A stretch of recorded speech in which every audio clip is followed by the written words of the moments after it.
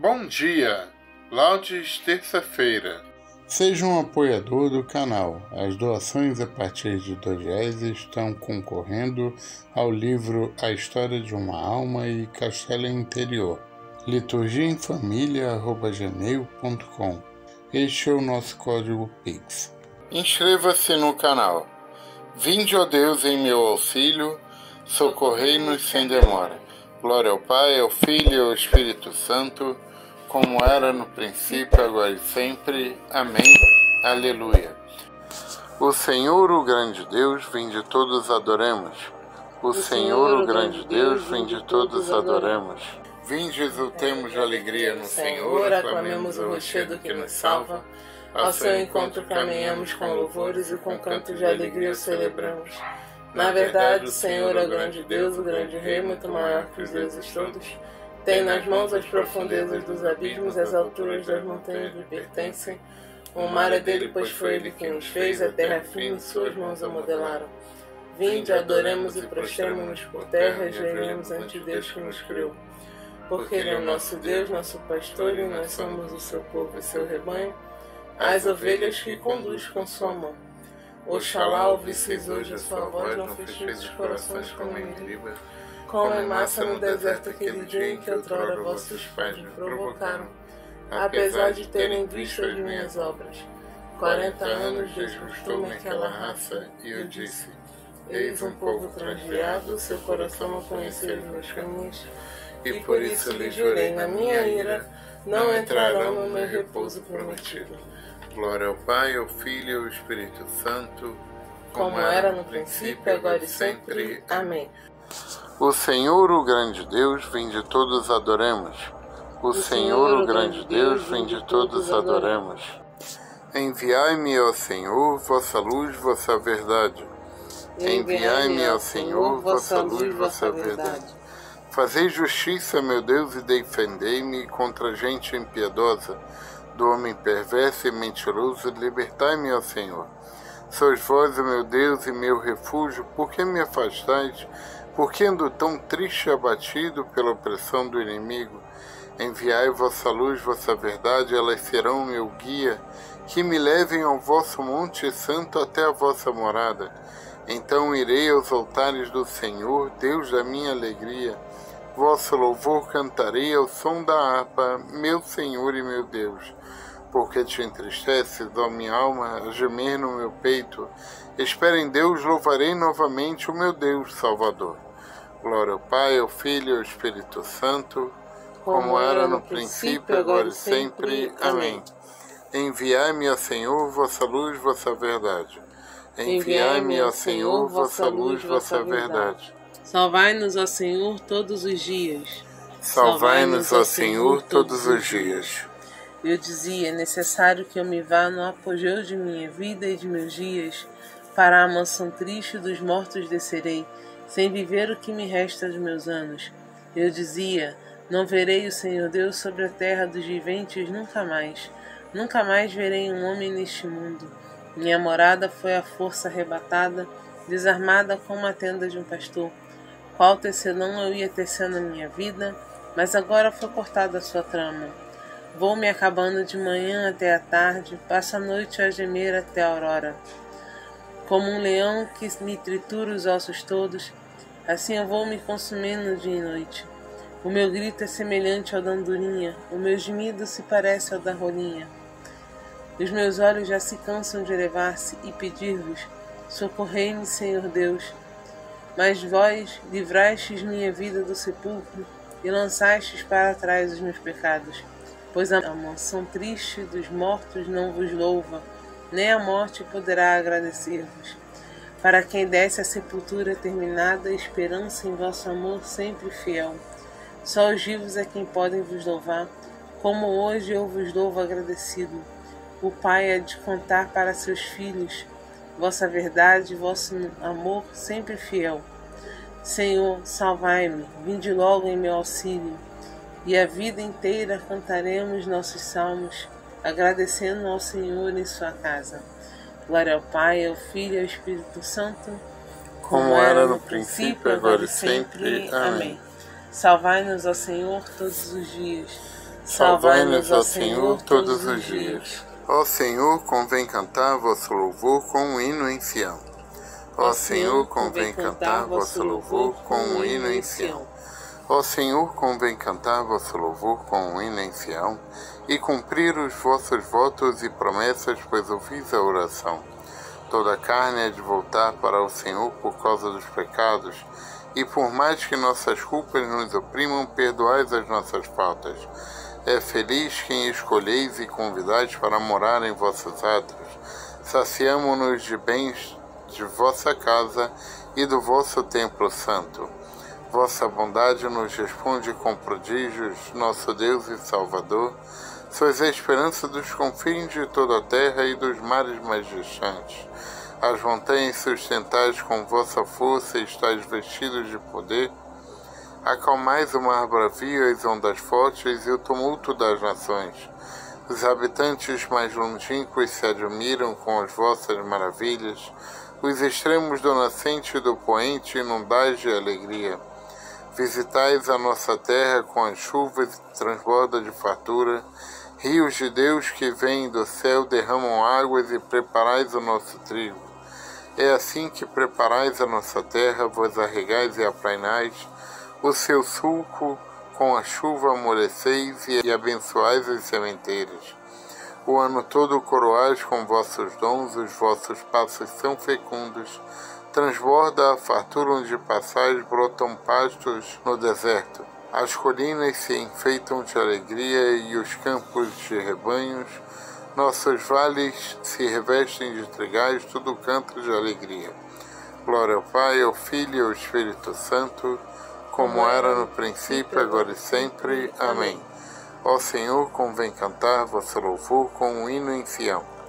Ó Senhor, convém cantar vosso louvor com um hino em Sião. Do livro do profeta Jeremias.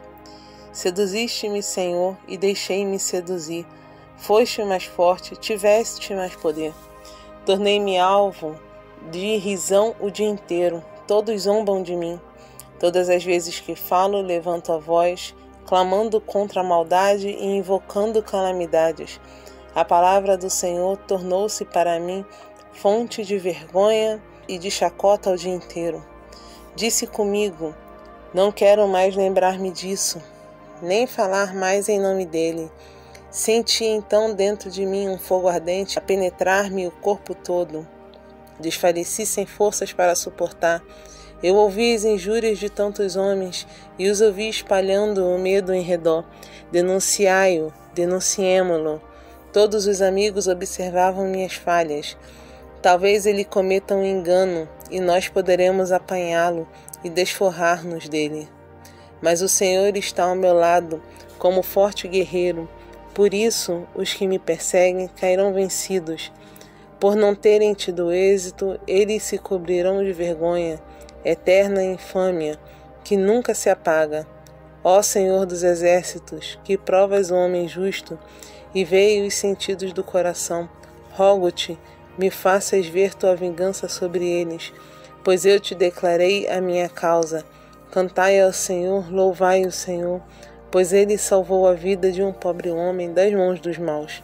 Maldito o dia que nasci, não seja abençoado o dia que me deu a luz minha mãe. Maldito o homem que anunciou ao meu pai: Nasceu-te um filho homem, e congratulou-se alegremente com ele. Assim como aquelas cidades que o Senhor destruiu sem se arrepender, assim esse homem também escute gritos de desespero o dia inteiro. Ele que não me fez morrer no ventre materno, de modo que minha mãe se tornasse meu sepulcro, e sua matriz gravidez eterna. Porque eu saí eu do ventre para a luz, para ver o sofrimento e dor e se consumirem na vergonha os meus dias. Palavra do Senhor. Graças, Graças a, Deus. Deus. Sofri injúrias e ameaças dos que eram meus amigos.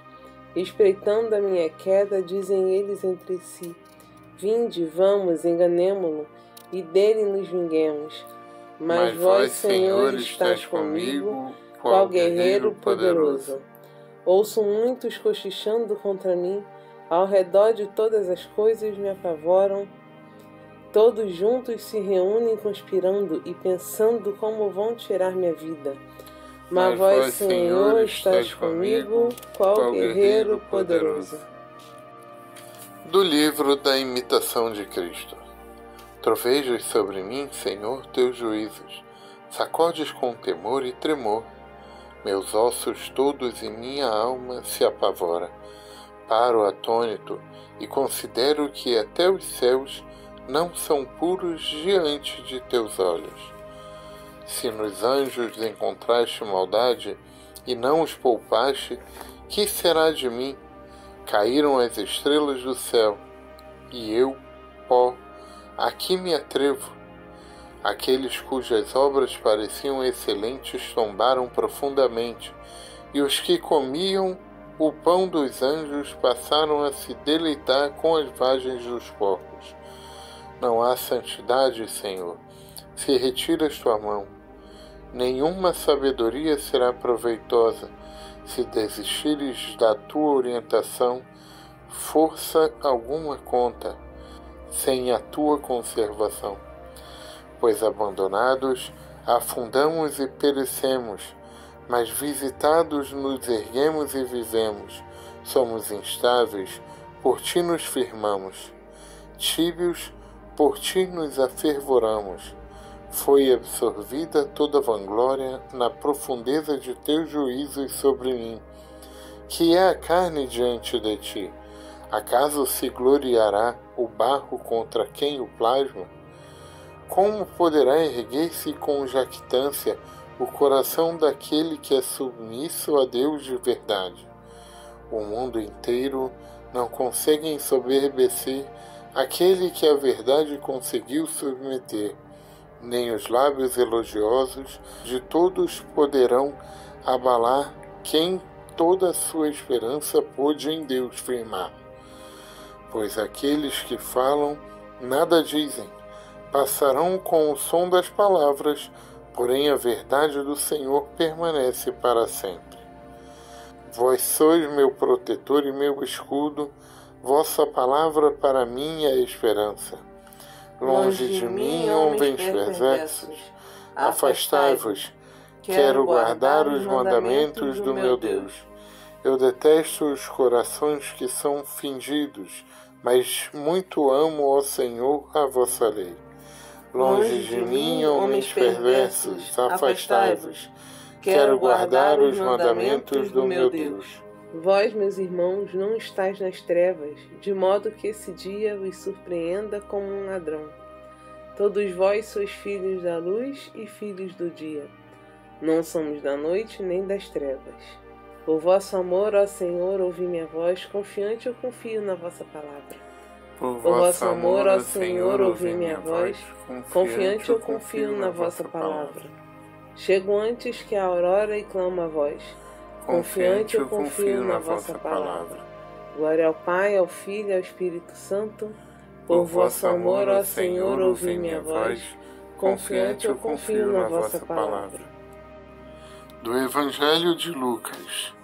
Naquele tempo, Jesus desceu a Cafarnaum, cidade da Galileia, e aí ensinava aos sábados. As pessoas ficavam admiradas com o seu ensinamento, porque Jesus falava com autoridade. Na sinagoga havia um homem possuído pelo espírito de um demônio impuro que gritou em alta voz: Que queres de nós, Jesus Nazareno? Vieste para nos destruir? Eu sei quem tu és Tu és o Santo de Deus. Jesus ameaçou, dizendo: Cala-te e sai dele. Então o demônio lançou o homem no chão, saiu dele e não lhe fez mal nenhum. O espanto se apossou de todos e eles comentavam entre si: Que palavra é essa? Ele manda nos espíritos impuros com autoridade e poder e eles saem? e a fama de Jesus se espalhava em todos os lugares da redondeza. Palavra do Senhor. Graças, Graças a Deus. Salvai-nos, ó Senhor, da mão dos inimigos. Salvai-nos, ó Senhor, da mão dos inimigos. Bendito seja o Senhor Deus de Israel, porque seu povo visitou e libertou. e fez surgir um poderoso Salvador na casa de Davi, seu servidor. Como falara pela boca dos seus santos os profetas desde os tempos mais antigos, para salvar-nos do poder dos inimigos e da mão de todos quantos nos odeiam. Assim mostrou misericórdia a nossos pais, recordando a sua santa aliança, e o juramento a Abraão, nosso pai, de conceder-nos que libertos do inimigo, a ele nós sirvamos sem temor. Em santidade e em justiça diante dele, enquanto perdurarem nossos dias.